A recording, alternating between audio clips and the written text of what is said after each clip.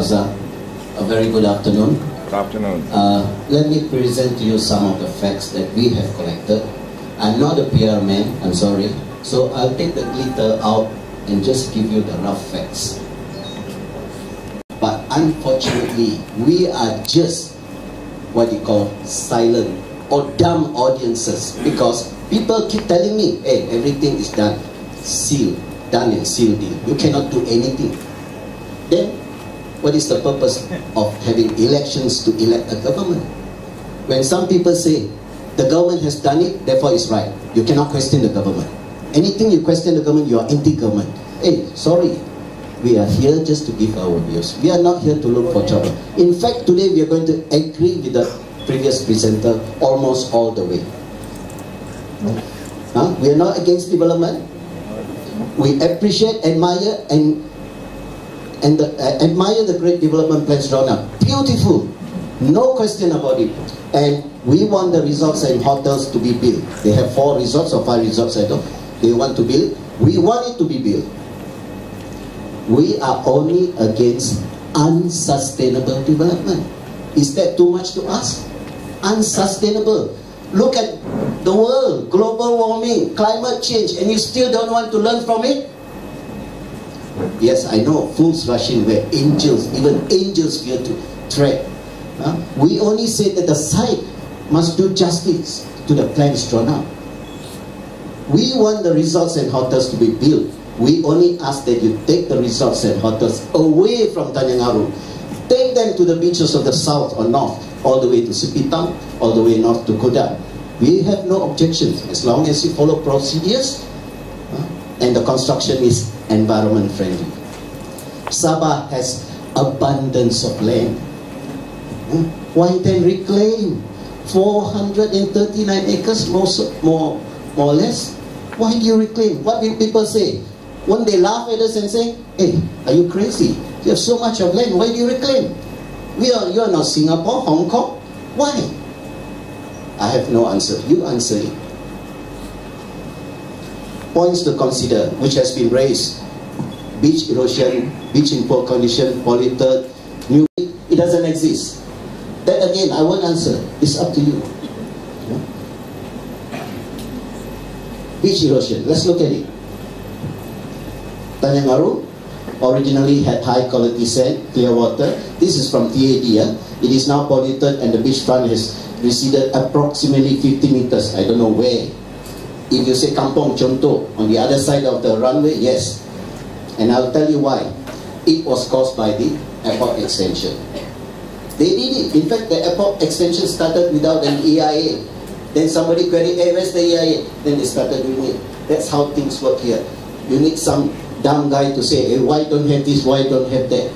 Because the smart guy always keeps quiet. If I can keep my mouth shut and make that extra buck, why should I? That was from a famous lawyer telling a famous dentist. Next. This is what real serious erosion looks like. But don't worry, ah. this is not Tanjung Aru. That is somewhere in Terengganu, ah, Pantai Tok Jembal. That's real erosion. In Tanjung Aru, there is no serious erosion. erosion. There is erosion a little bit near to the runway extension, and that is actually partly being tackled by the runway people. You see all the sea walls, this and that. And with a little bit of extra money, it can be done. In fact, the consultant I met previously from DAD, uh, sorry, DHI, did say, all you need is money. It can be tangled. It can be tackled. You don't need to reclaim. Next. This is Tanjung Aru. This is your beach. This is how it looks. The top picture is how it looks like now. The bottom picture, how it looked like in 1950. Still the same. Next. Same. This is the present Tanjung. You look at first and second beach. Actually, the beach is building up. Recreation Center has actually experienced a build up and the shoreline has been extended se several meters. How can you say there is erosion? Of course, you can go to one place where the sea has eaten a little bit, take a photograph and say, look, there is erosion. Huh? Either you save or Tanjung Aru is gone forever and they can get front page, you know, news. I don't know how. We, we give them the answers the, the newspaper sometimes refuse to publish. They put one clip and put one small corner there, make us look so bad. That's the media. Huh? The people piss on us and they say it's raining. That's the media sometimes. Prince Philip Park also has actually experienced build up on the shores. Yes, as I said, mentioned earlier. Next. Ah, this one, I have to explain to you. This was actually not erosion. This was some smart aleck, Borneo Hotel before. When they saw, you see, I have to tell you this. The build-up and erosion is seasonal. Uh, southwest monsoon from late May to September, they send wash off. Huh? Then from uh, northeast monsoon from November to March, they send build-up. So this guy probably saw during the build-up, hey, there's so much of sand, maybe I can get some extra land. So all those done by Borneo Hotel, hoping to get some extra land. But nature finds its own way. It has it, finds its own shoreline. So you it looks as if there's so much of erosion. No, it wasn't. It was nature showing people don't play play with nature.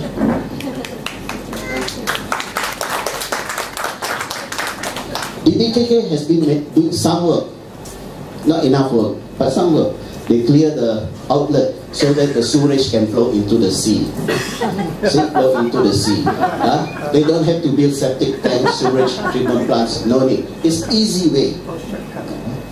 So there are several uh, uh, drains that actually pour out into the beach and it's a dirty beach. I agree with the presenter. The beach is dirty, the beach is polluted and the park itself is not that well kept. Yes. All pointing to our local government. What kind of government do we have?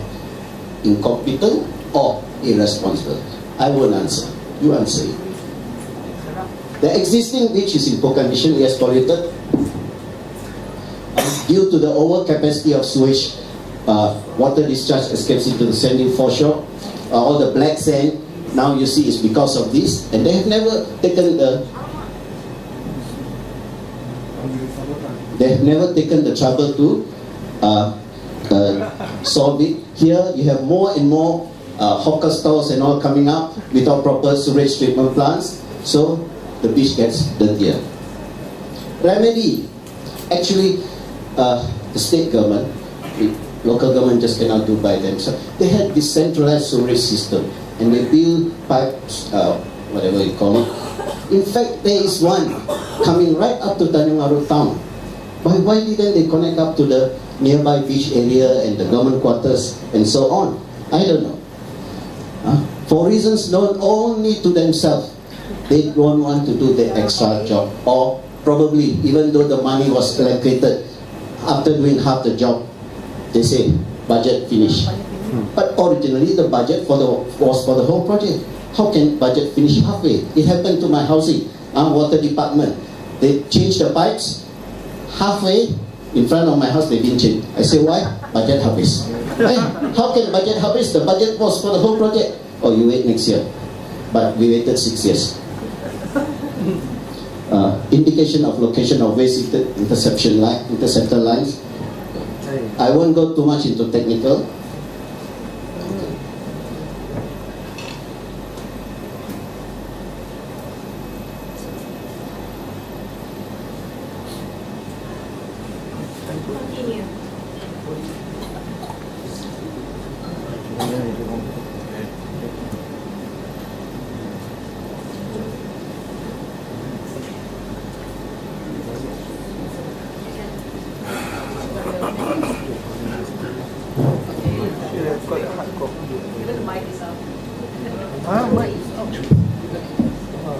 You may continue. Uh, Just carry on.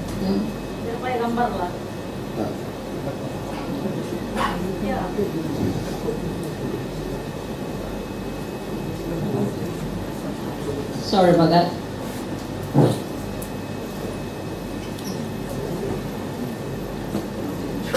No signal. No signal.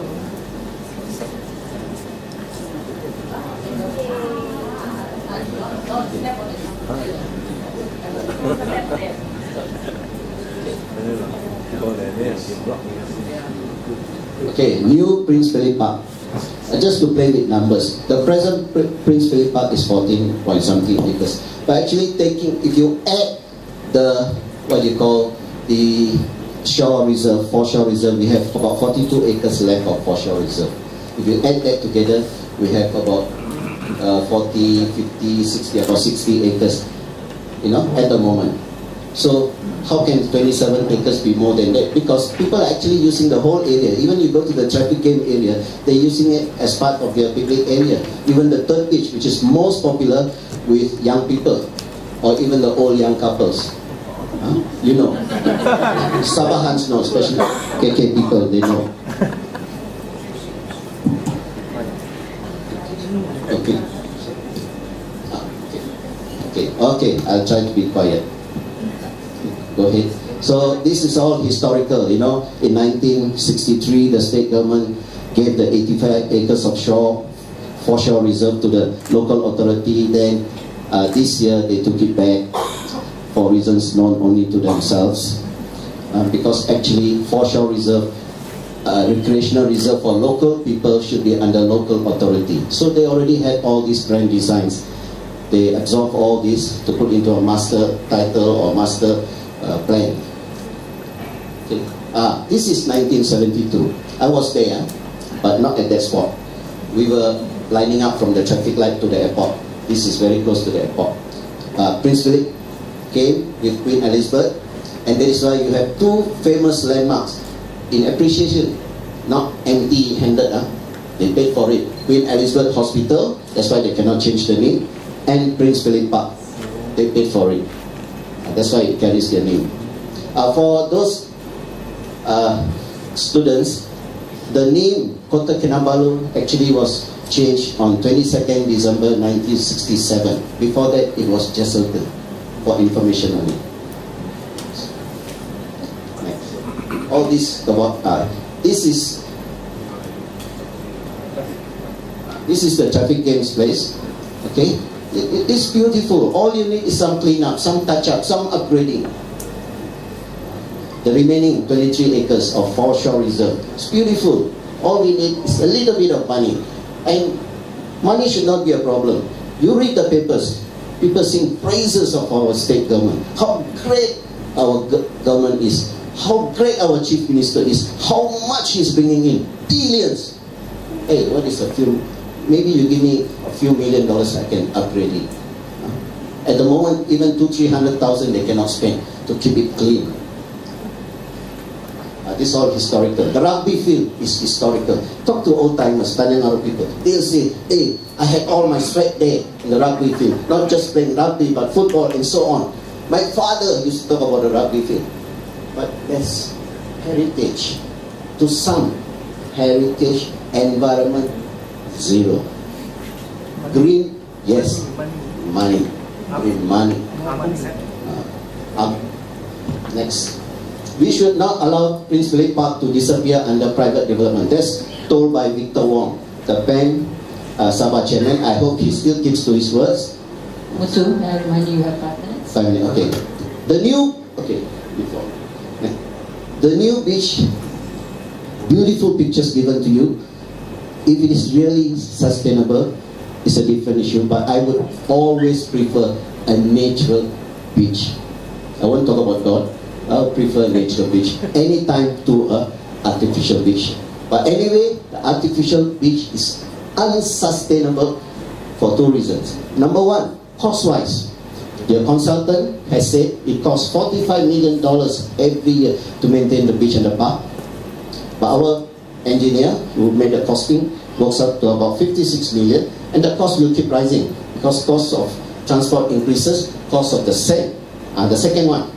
So the cost wise, 45 million, even if they find 45, 50 million every year, maybe some, it drops from the sky, they can find it, good.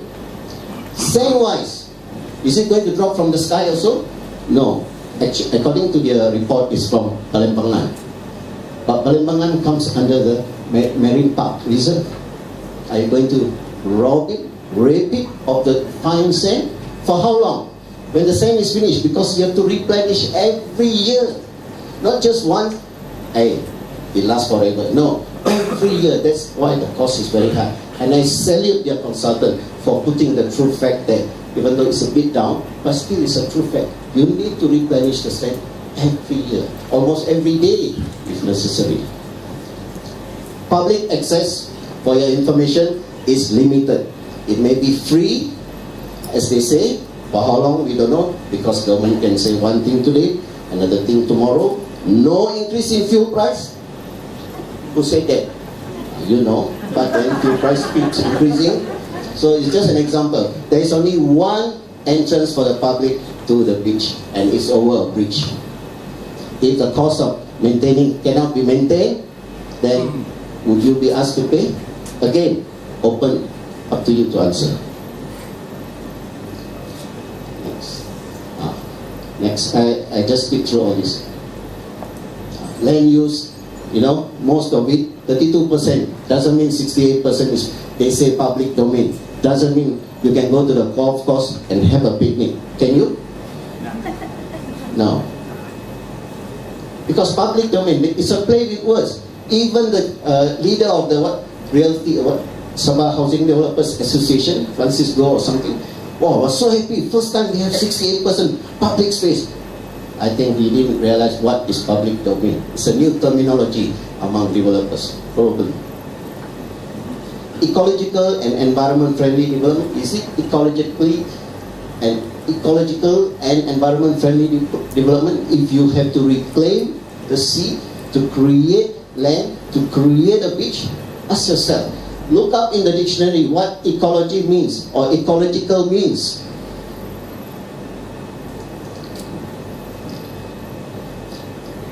The adverse effects of beach. Uh, it's going to be very bad when they start dredging. Ah, back to nature, yes. The finished product. But I always say the means must justify the end. If you want to create some good, you must do it the right way. You cannot kill all the people in the world so that no bad people and there's one good man standing. Again, this is the responsibility of the government. If you have a child, if someone has a child, whose responsibility is it to look after the child? The parent or people on the street? You, you ask yourself. You cannot have a child running wild, doing all the damage, and the, when the parent asks, oh, I cannot look after him. I have no money. In the end, I say, he says, I have to sell my child to maintain my child.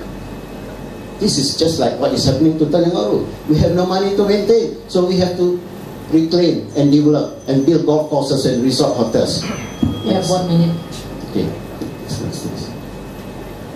And there's a lot of beautiful things. Infrastructure development and cost. Actually, our consultant who studied it said the cost is more than 3 billion. Uh, but if you know about cost overruns of the government, by the final time, it could end up 3, 4 times, even 5 times, even 10 times. Almost, ah, you want to compete with Cebu, Bali, Sanya, very good. But are, are they all reclaimed beaches? Huh? Just come on lah. Give some respect to people. You want to compete on equal footing. You don't reclaim and say, oh, we have the best beach in the world. Most tourists are looking for natural places, quiet. So take your hotels to Papar Beach, to that Beach. Huh?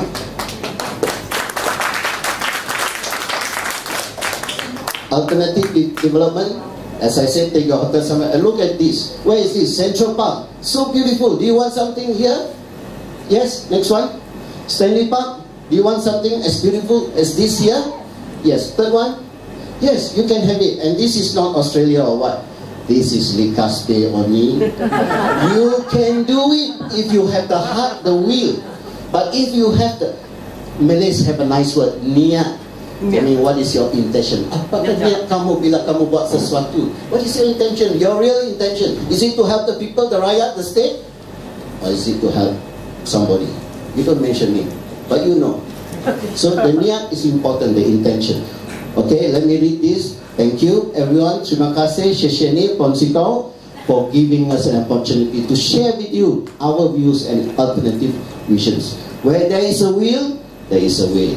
This deciding factor is intention or niat. Let them search in their hearts. You know, does do people come first or profits? Think it over. Thank you. Thank you.